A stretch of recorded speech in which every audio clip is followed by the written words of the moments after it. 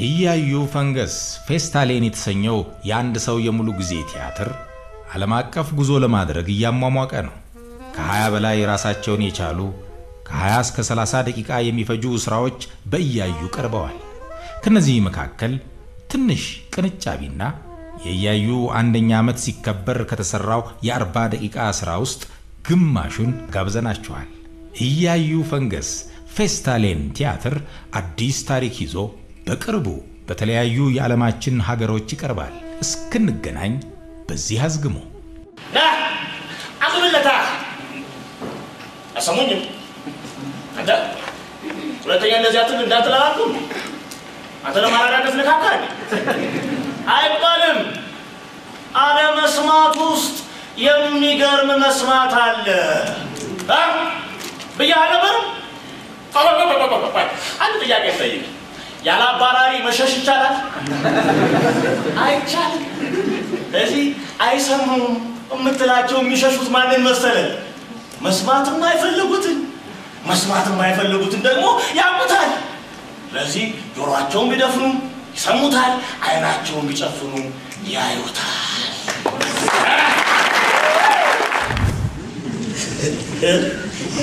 ወይ ዘውዱ፣ ወይኔ ዘውዱ ብዬ ብዬ በቃሌ ያስኩት ጸሎት ይጥፋል። ሚስትየው ምን ቢሉ ጥሩ ነው? ያው እንደፈራሁት ያ ሌባ ዲያቆን ነው የሰረቁት። ሮስንሶ ማን ያዙ አሎት አሉ። ምን ሆነሻል ውዴ? በቃሌ እኮ ነው ያልኩት። በቃ በምን የሚሆን በምን አያዙ አልኮት አያዙ። እሺ ውዴ እውነትሽን ነው። ሁለተኛ አልይዝም አሉ። ይሰማል አይደል አለቃ? መምሬና ሚስታቸው እውነታቸውን ነው። ሌባውን መያዝ ሲያቅትህ ያለ ብቸኛ አማራጭ ንብረት አለመያዝ።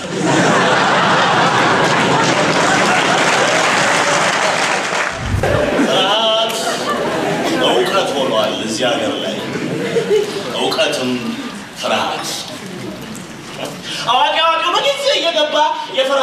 ላይ ሰፍሯል።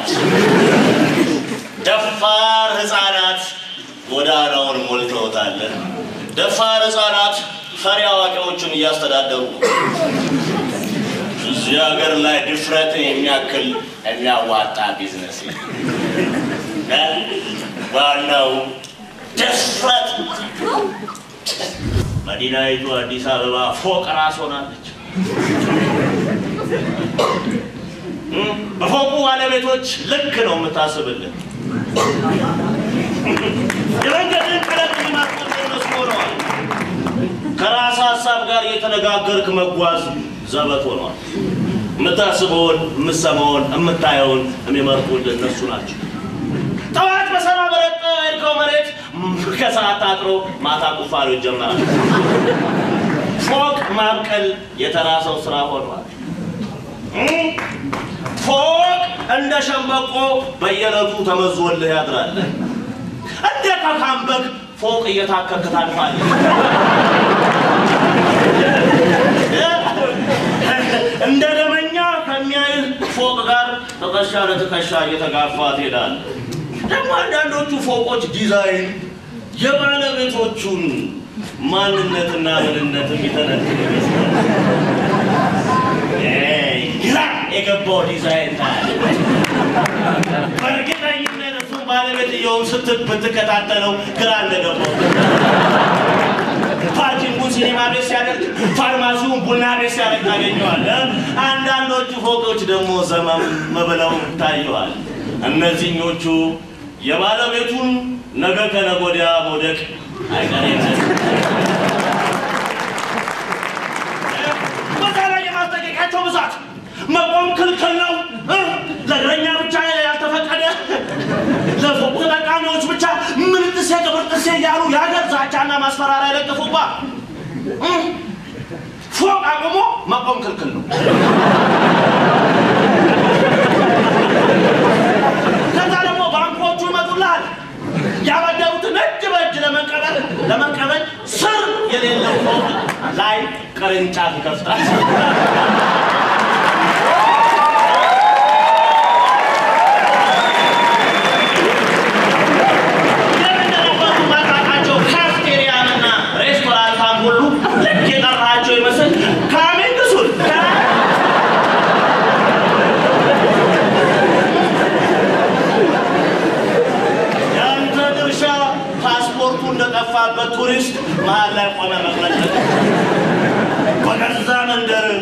አይተዋል አድርገው ቁጭ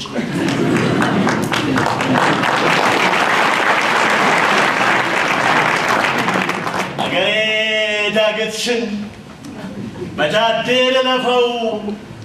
ሁሉም የግል ሆኗል። ምኑን ልደገፈው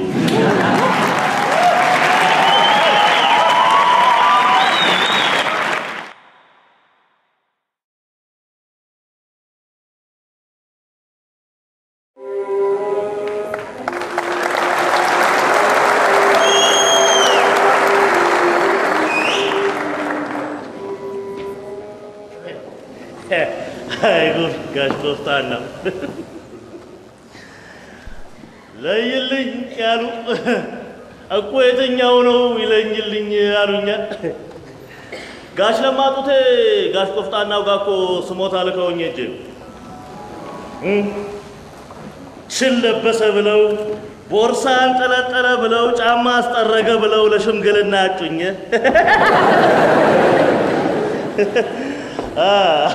እንደተለመደው በቦርቃቃው ሕዝቤ ላይ እየሳቅሁ ደርሼላቸው መጣሁ። እችን ለበሰ ብለው በአንድ ጀንበር ከታሚነት ወደ አሚነት ተሸጋገሩ።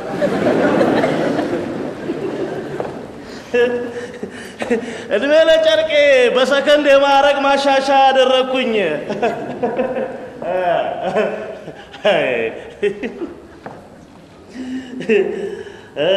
ከሁከት ፈጣሪነት ወደ ሁከት አስወጋጅነት ከፋል። ለነገሩ የዘንድሮ ልብስ ለሁለቱም ያገለግላል። በአንድ መለያ መስረቅም መያዝም ትችላለህ።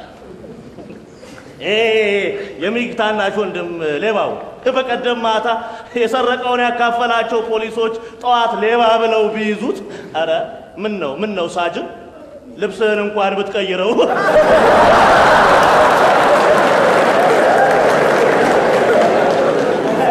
አሉ አሉ ጋሽ ቆፍጣናው ጋር ለስሞታ ተላኩኝ። ጋሽ ቆፍጣናው ደረጃ አንድ ሙጢ እኮ ናቸው። ቆይ እንደው ምን ብሎ ሰደበኝ አለ አሉ። ሰኞ ለታ በግ ትናንትና ማታ ደግሞ ቀበሮ አለኝ ብዬ ሳልጨርስ በሳቃቸው አቋረጡኝ። እንደው እንደው ቆፍጣናው ይሙት በል እንደዚህ ብሎ ላንተ ከሰሰኝ ዘውድዬ ትሙት ስላቸው በል እንግዲህ እንደምትልልኝ እኔም ለመስደብ እንዲመቸኝ እሱም ለስሞታው እንዲመቸው ማንነቱን ይለይልኝ። በግ ነው ወይስ ቀበሮ? ሰው እንዴት በግም ቀበሮም ተባልኩ ብሎ ክስ ያቀርባል? ይሁን እያዩ አሉ ጋሽ ቆፍጣን ነው።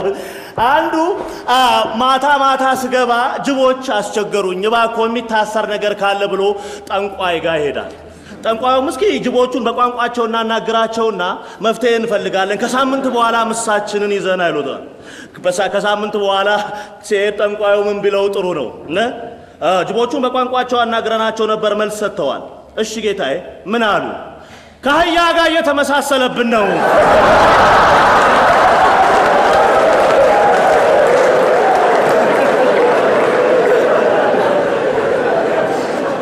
ጌታው ጅቦቹን ከመክሰስ በፊት የአህያ መልህን ተው።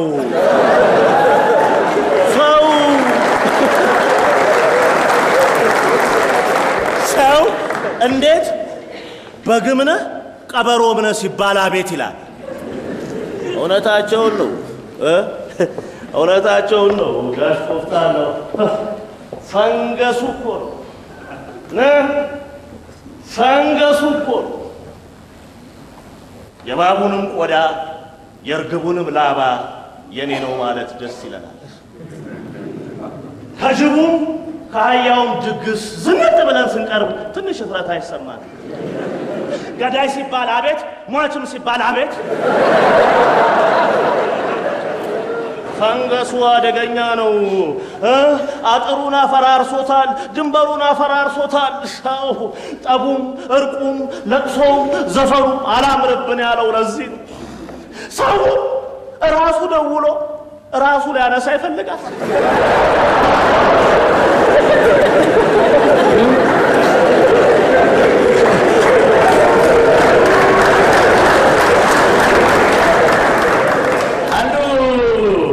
እንደዚህ ሰፊውን ህዝብ ሰበሰበና የሆነች በትር እያሳየ ሙሴ ይባላለሁ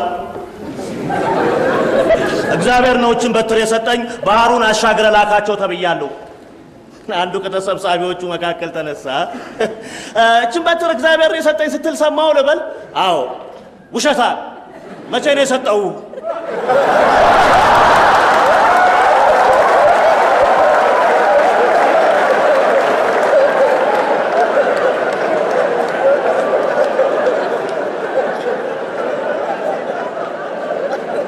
ውክልና እዚህ ድረስ ሆኗል።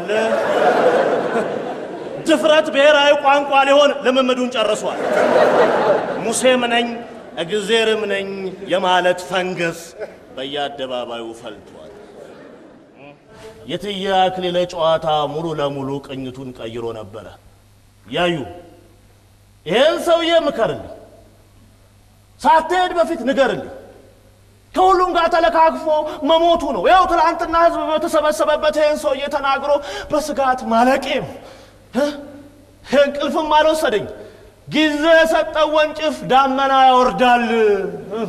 ከባለ ጊዜ ጦር እንዲጠብቀኝ ስጸልይ የኖርኩት። ይህን ሰውዬ ንገርልኝ፣ ያስጠንቅቅልኝ ብለው በጨነቀው ድምፅ ወደ ጓዳቸው ገቡ።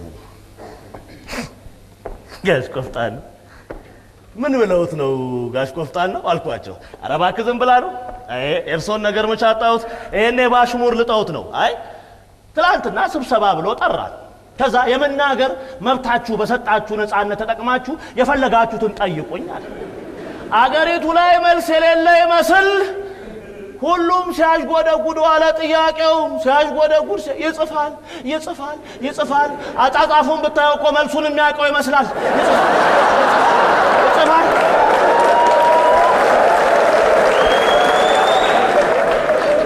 በኋላ ሰዓቱ ደረሰልህና ይዘባርቅ ጀመረ። ጥያቄ እዚህ መልስ እዛ፣ ጥያቄ እዚህ መልስ እዛ። እንደው ዝብዝብ ሲልብኝ አይ አይ አይ ይህን ሰውዬ ላድ ነው ብዬ ሳላስፈቅድ ብድግ አልኩ። አይ አቶ ሊቀመንበር አልኩት። አቤት አለ። "እ፣ ቅድም አንተ የመናገር መብታችንን ተጠቅመን እንድንናገር እድል ሰጥተን ጥያቄ ጠየቅን አደል አልኩት። አዎ አለ። ልክ መልስ የመለሰ ይመስል ላቡን እየጠረገ ይኸውልህ እስቲ ደግሞ እኛ ዝም የማለት መብት እንስጥና ዝም በል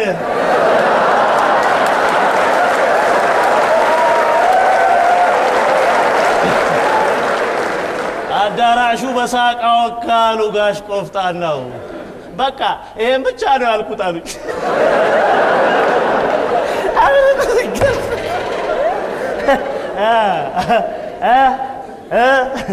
እውነታቸውን ነው። ብልህ የመናገር ብቻ ሳይሆን ዝም የማለት እድልም ሲሰጠው ሊጠቀምበት ይገባል። ጋሽ ቆፍጣናውስ? ጋሽ ቆፍጣናውስ እንዲህ ተረቡንም አሽሙሩንም ተክነውታል።? ለቅሶውን በሳቅ እያለሰለሱ ይኖሩታል። ስንጥር ለወረወረባቸው ጦር እየመለሱ ይመክቱታል። የኔንስ ምን ልበለው? የኔንስ? ምን ስም ልስጠው? እችን ለበስክ ብሎ ለዳኝነት መመረጥ ዋጋው ስንት ነው? ዘውድዬ ትሙት እየሸሹ መታገል አያዝናናኝም። ሰበብ አምላኬ አይደለሁም። ከራስ ጋር ድለላም ተመችቶኝ አያውቅም። መልከ ጥፉነቴን በርካሿ መስታወቴ ማሳበብ አልፈልግም። የፊቴን አመዳምነት በተመልካቹ አይን ማሳበብ አልፈልግም። ዘውድዬ እኔን ሳኝ እ፣ ሰው ለምን በጨርቅ ያምናል የሚል ተራ ሙግት ከዓለም ጋር መግጠም አልፈልግም። በነበረኝ ሰዓት ተሻምቼ አክብሬ የገዛሁትን ጨርቅ በሌለኝ ጊዜ የማራከስ ቅሽምና ውስጥ አልገባም። በ priority ግን አምናለሁ። priority priority የእውቀት ሌላ ትርጉምና ፍቺ የለውም። order of importance የእውቀት የመጨረሻው ጫፍ prioritization፣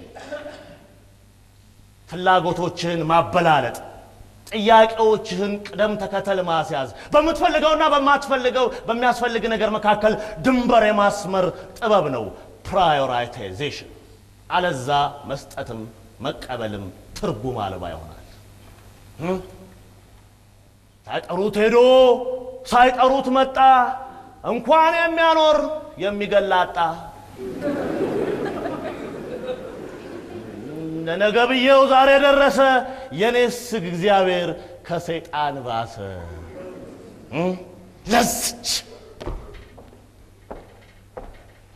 ለዝች! አሉ ሽማግሌው።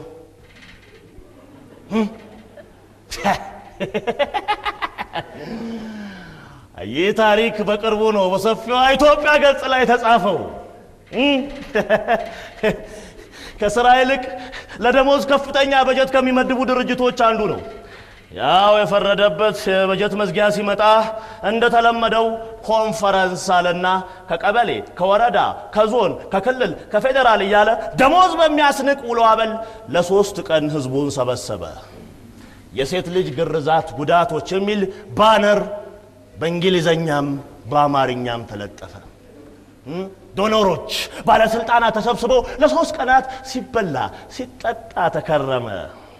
በስተመጨረሻ የጉባኤው መዝጊያ ጊዜ reflection አሉና ህዝቡን አስተያየት እንዲሰጥ ጠየቁት። ሁሉም እየተነሳ የጉባኤው ቅድስና እየተናገረ ተቀመጠ። ነገሩ የመጣው በስተመጨረሻ ነው። ከአገር ሽማግሌዎች ለአንዱ ማይክራፎን ተሰጠ።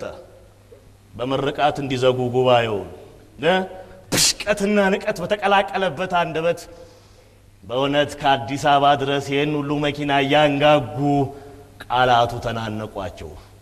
ውሃ ስንጠይቅ አልነበራችሁ፣ የከብቶች መድኃኒት ስንጠይቅ አላየናችሁም፣ የልጆች ትምህርት ቤት ስንል አልነበራችሁ።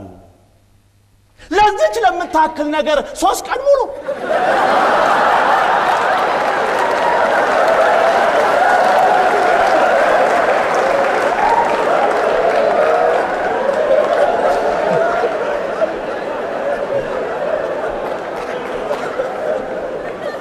ስለዚህች ለማውራት ሶስት ቀን ሙሉ። እኛ አባ ስለ ግርዛት አናውራ ወይም ማውራት የለብንም አላሉ። የሚወራበትን ጊዜ ነው የጠየቁት። ስለ priority ነው ያወሩት። መቼ ከየት ቀጥሎ እናውራ ነው ያሉት። period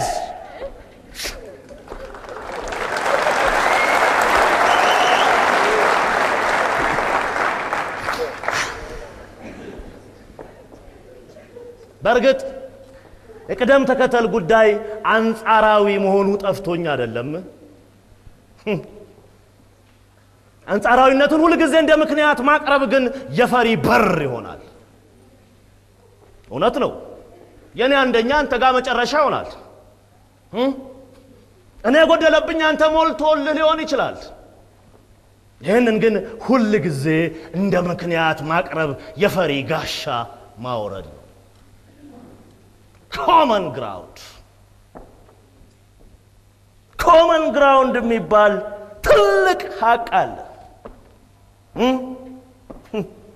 አንተ እኔ ለመባባል common ground ያስፈልገናል። ልዩነትን ለማጥፋት ሳይሆን ከነ ልዩነታችን አብረን ለመኖር ገዢ መሬት ያስፈልገናል። ተለያይተናልም ለመባባል እሱ ላይ ሆነን መሆን አለበት። ይህንን ሀቅ መካድ ለማንም አልተፈቀደም። ሰው ሆነን የተፈጠርን ቀን ከሀቁ ጋር ተሳስረናል።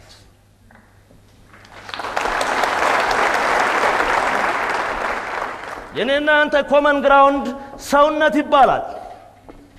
ህግ የምናወጣውም ህግ የምንሽረውም እሱ ላይ ቆመን ነው።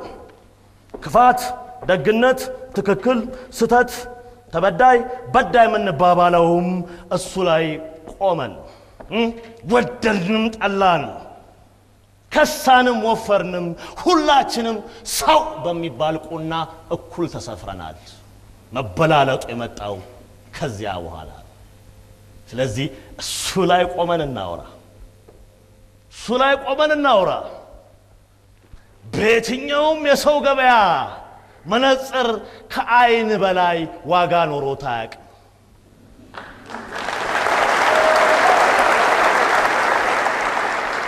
ቆዳችን የተሰራው ከልብሳችን በፊት ነው።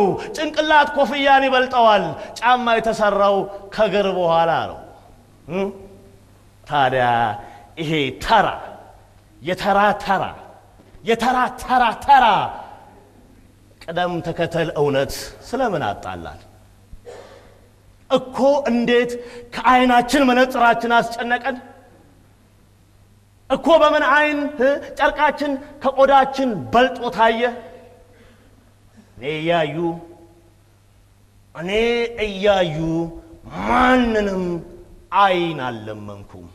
ለሰከንድም ቢሆን መነጽራችሁን አውልቃችሁ ተመልከቱኝ ነው ያልኩት። መነጽር እንጂ ውበት ቆሽሾ አያውቅም። የዚህን ሀገር ውበት ያረገፈው ዓይን አይደለም መነጽር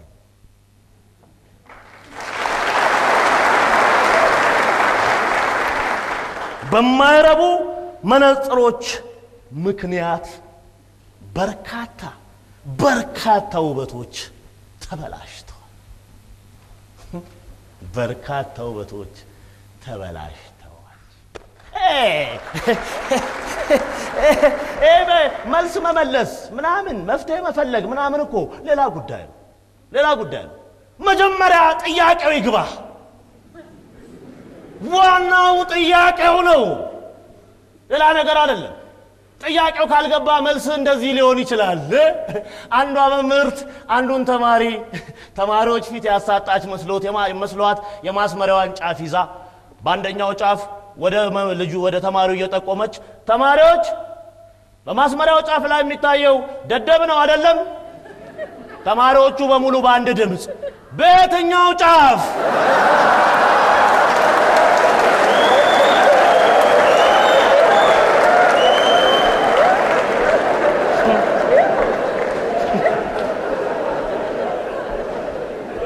መልሱን ተዩ፣ ጥያቄው ከገባሽ ይበቃል ይል ነበር ቲቸር ገዝሙ። እዚህ ሰፈር ጥያቄ የማጋነን ፈንገስ እንደ ጉድ ገብቷል። ጥያቄ ያጋንናሉ። ጥያቄ ማጋነን ደግሞ መልስ ያቀጭጫል። ሁሏም ግነቷ ውስጥ ተደብቃ መልሷን ያገኘችው ይመስል ትደሰታለች። ዳብሱኝ ስትል እጅ ቆርጣችሁ ስጡኝ አለ ትባላል። እሹሩሩ በሉኝ ስትል አልጋ ተመኘ ትባላል። በረንዳ ስትጠይቅ እልፍኝ ደፈረ ይሉሃል። ለዚህ እኮ ነው ለዚህ እኮ ነው ወድቆ መነሳት ብርቅ የሆነው። መውደቅ ተራ ነገር፣ መነሳት ግን ከባድ የሆነው ለዚህ ነው። ለዚህ ነው ያጎነበሰ ቀንቶ የማያውቀው እምባ መፍሰስ ከጀመረ የማይቆመው በዚህ ምክንያት ነው። ተረብሾ የጮኸ ሁሉ ረባሽ ይባላል።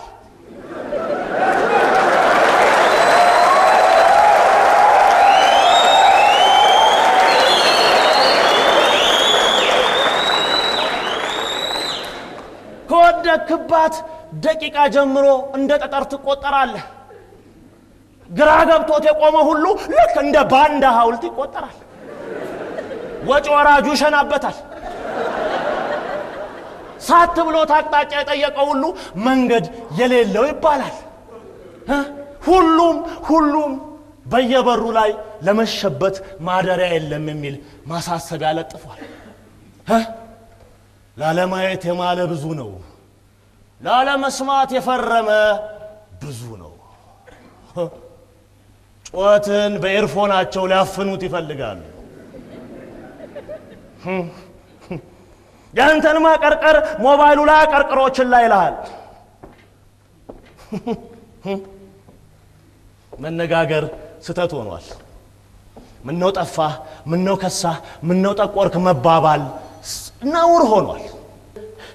ውርጭና እ, ውሃ ጥም ከሰነጣጠቀው ከንፈርና ፊትህ ይልቅ የሞባይል መሰንጠቅ ብዙ ጠያቂ አለ።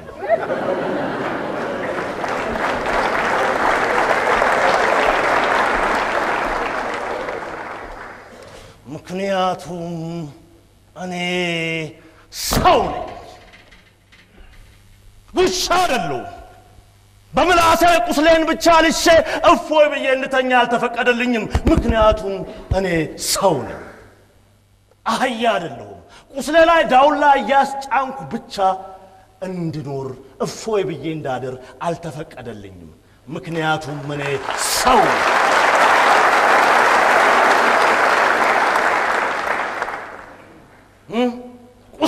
የሚወጣው ልቤ ላይ ነው። ከቁስሌ ይልቅ ጠባሳዬ ያመኛል። አልኮል ፍለጋ አይደለም ከቤቴ የወጣሁት።